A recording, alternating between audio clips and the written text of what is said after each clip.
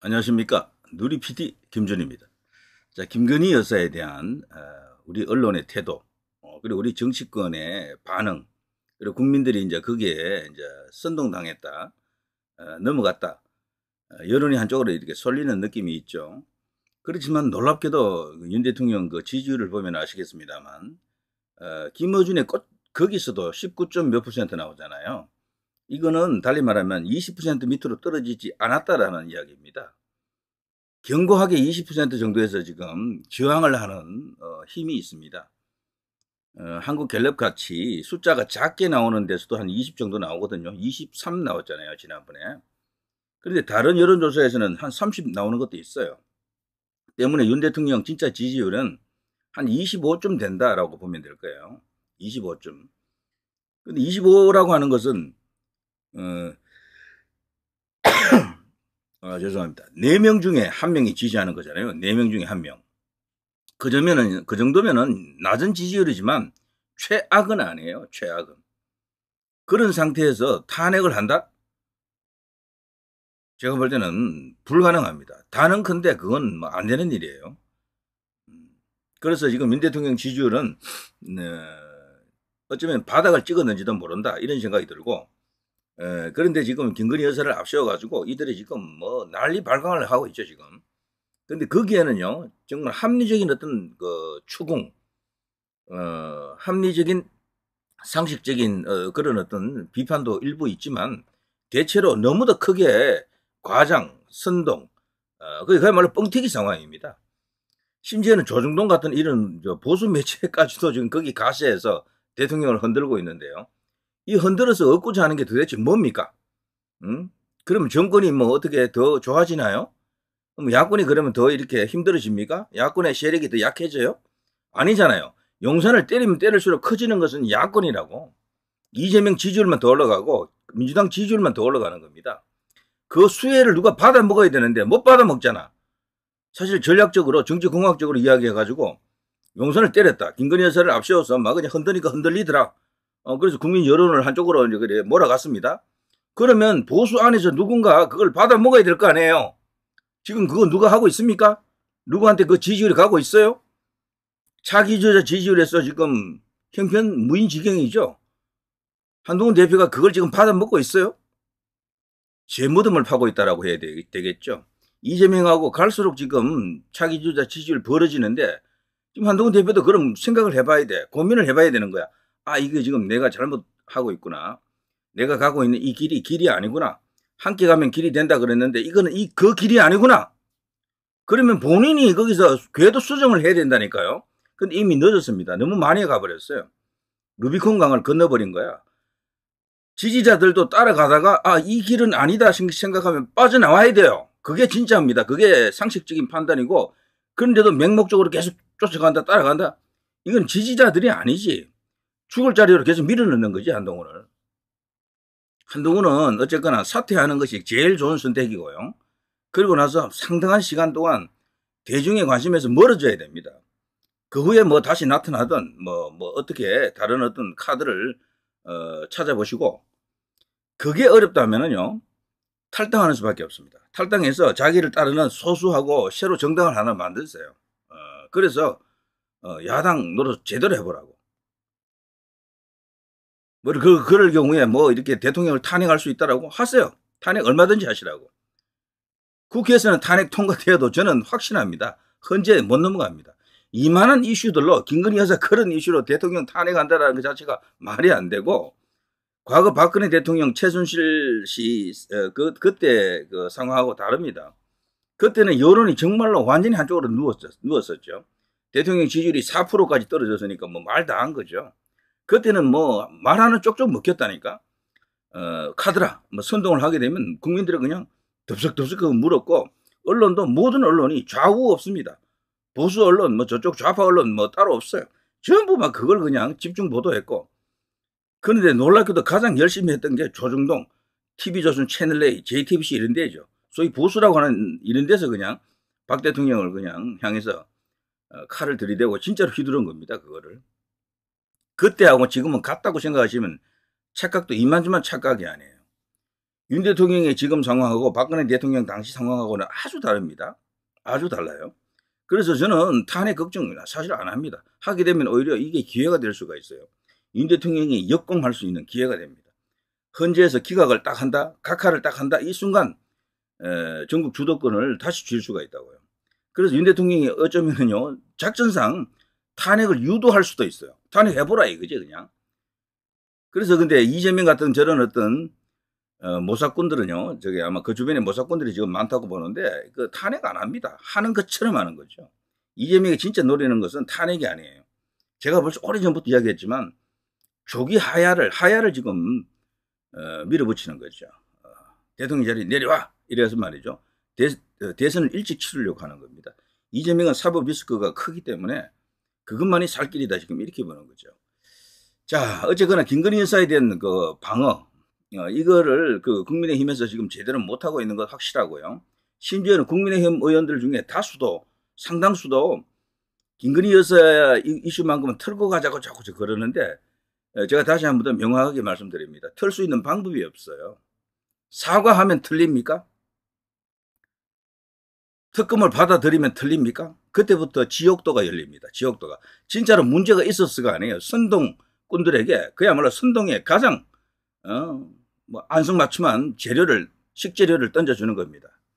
아 그러면 이재명하고 조국 이, 이따위 것들은요 감사히 먹겠습니다 하고 바로 그냥 음, 칼질 시작할 겁니다.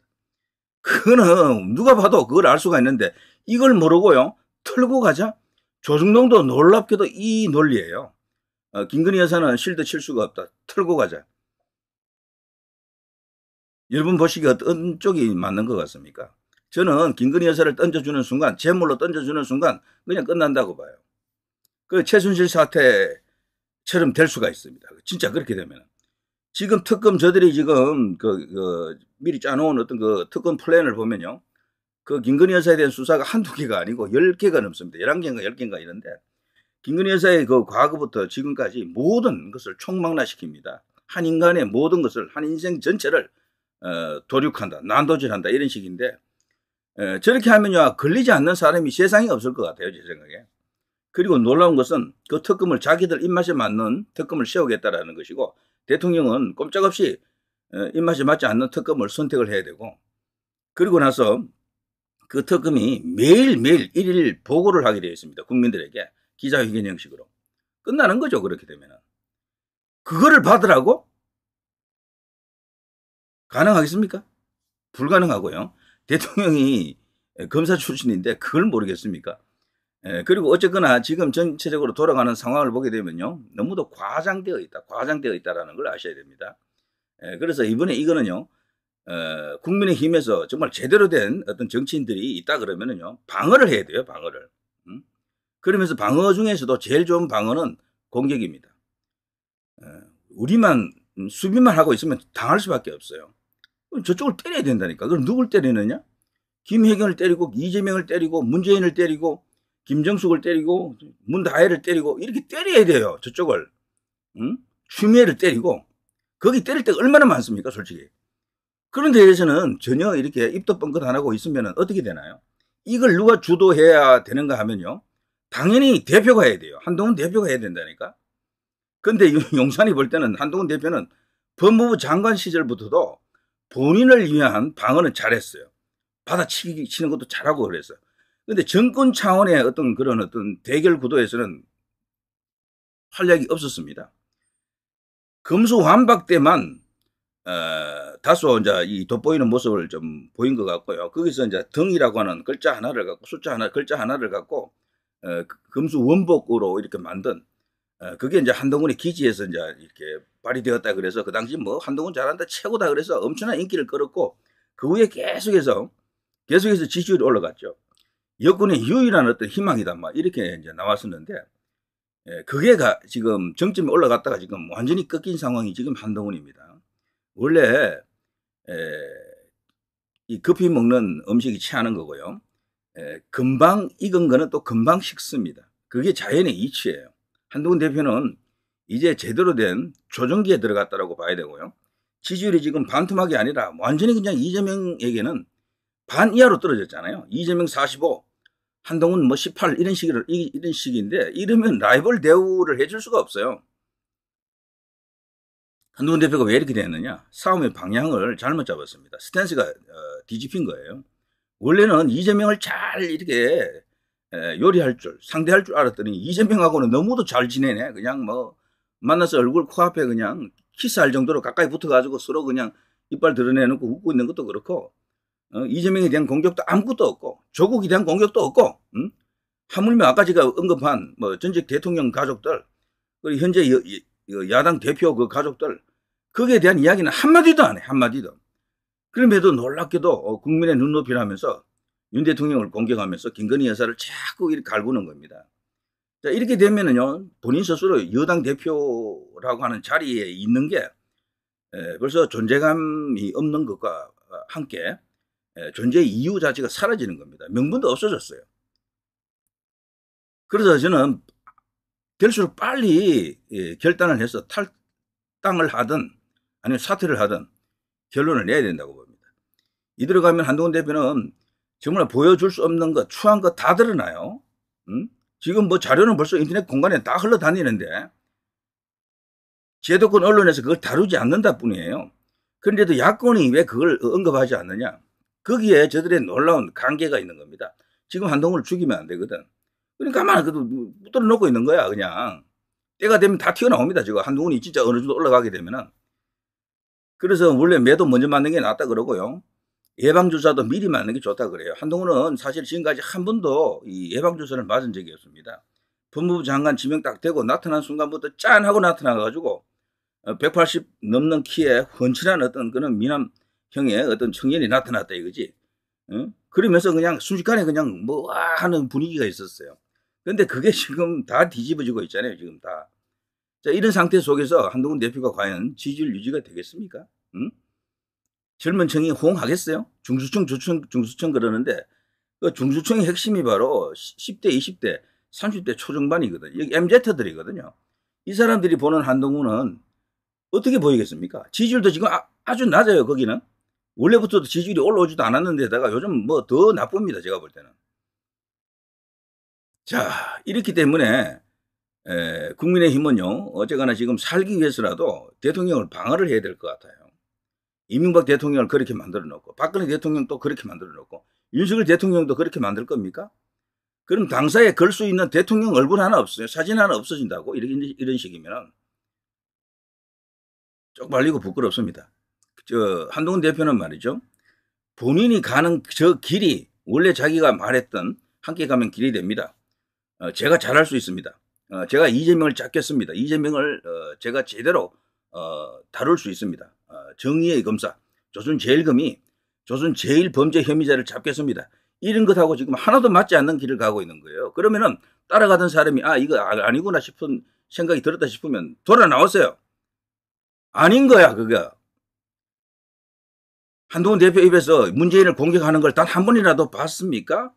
비대위원장 되고 난 이후에 김정숙을 때리는 걸 봤어요? 문다이 때리는 거 봤어요? 이재명 때리는 거 봤어요? 조국 때리는 거 봤어요? 조국 집안의 그 딸, 어? 조민 때리는 거 봤습니까? 물론 그런 걸 대표가 말하기는 쪽팔린다 생각할지 몰라도 해야 돼요. 왜? 저들은 김건희 여사만 갖고 지금 난리를 치잖아. 거기에 대응을 용산이 직접 하는 것보다는 당이 해줘야 돼. 당이 원래는. 대표가 그 자리에 앉아가 그걸 안 하는데 누가 해야 됩니까? 응? 그럼 대표 잘못 뽑았죠? 결과적으로. 어, 저도 일말에 이제 어, 반성을 이제 해야 되겠습니다.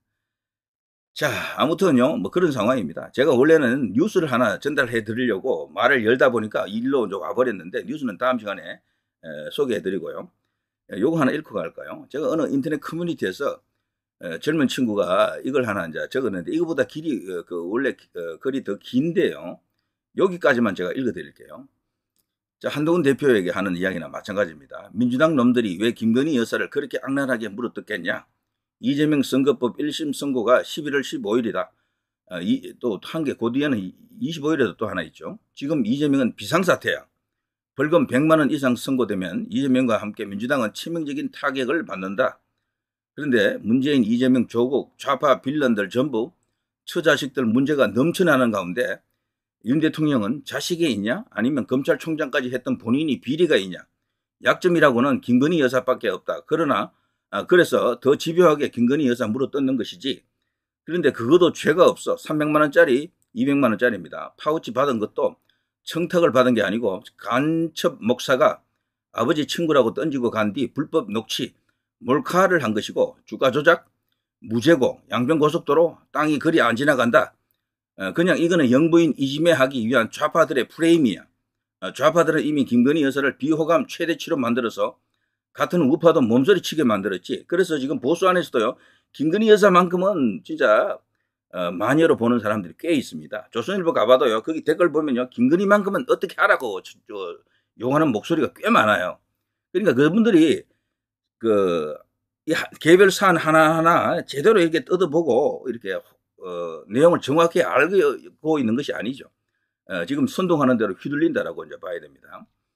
자, 왜 김건희 여사 비호감 만들어 놓고 대통령 지지율 최저치 만들어서 어, 탄핵하려고 이재명이 생각하기엔 탄핵해서 빠른 좌파 정권 안 만들면 자신이 지금은 사법 리스크 때문에 죽겠다는 게 생겼다. 작살나게 생겼다. 지금. 그런데 국민의힘 당대표라는 한동훈은 이렇게 돼 있죠. 이 밑에 한동훈을 까는 글이 많이 있는데 그건 제가 뺐습니다. 이게 지금 현실입니다. 자, 그런데도 지금 무엇이 이제 옳고 그르고, 뭐, 혹은 뭐 옳고 그르고는 아니더라도요, 정치판에서는 결국 이제 되는 길, 안 되는 길이 있거든요. 어느 쪽이 되는 길이고 안 되는 길인지 이제 판가름이 안 되십니까? 자, 이 정도 되면요, 한동훈에 대한 이야기를, 어, 너무도 많은 어떤 유튜버 혹은 어, 이, 저 매체들에서 다루고 있는데, 에, 한동훈이 가는 저 길이 과연 어, 생문인지 사문인지를 제대로 보셔요. 어, 제가 볼 때는 저 죽은 문입니다. 본인이 살기 위해서라도 빨리 탈당을 하거나 사퇴하는 것밖에 길이 없어요. 저기는 따라가는 사람이 갈수록 줄어들 수밖에 없다. 지금 한동훈 쪽에 따라가는 사람 들, 들 중에는 과거에 좌파에 있다가 문재인 지지했던 이낙연 지지했던 사람들도 상당히 가 있는 것으로 어, 보이는데 에, 그런 사람이 만일에 주력이라 그러면요 정말 이거는 난리입니다 난리. 자 일단 요 정도 하겠습니다. 누리 PD 김준희였습니다.